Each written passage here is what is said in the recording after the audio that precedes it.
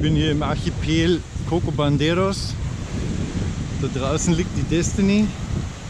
Das sind hier vier Inseln, die alle so ähnlich ausschauen. So halbwegs Fußballfeld groß, kleines Hütterl drauf, wo die Arbeiter und Fischer pausieren können.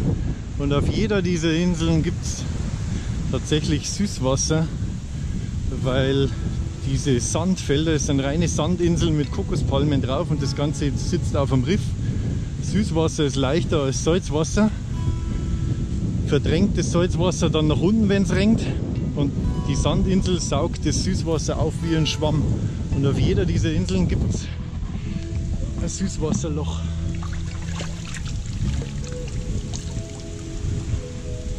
Astrein Süßwasser. Mitten im Meer.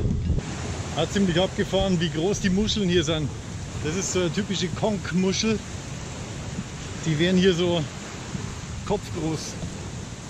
Das Fleisch innen drin ist so ein Muskel, ein bisschen größer als eine Faust und kann man super essen.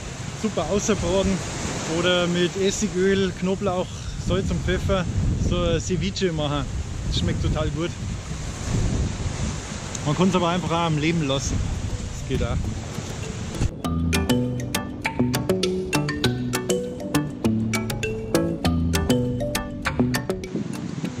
Quizfrage. Was ist hier das Gefährlichste, was einem auf der Insel passieren kann? Hoffentlich passiert es mir jetzt nicht gleich. Es gibt keine wirklich gefährlichen Tiere. Es gibt Ameisen, verschiedene Mückenarten, verschiedene Vögel. Keine der Sorten sind wirklich gefährlich. Es gibt hier zumindest keine äh, Salzwasserkrokodile, Schlangen, nichts dergleichen. Man kann barfuß über die ganze Insel rennen. Aber was ist hier das Lebensgefährlichste? Was kann man hier wirklich töten? Wer weiß es? Hier ist die Auflösung.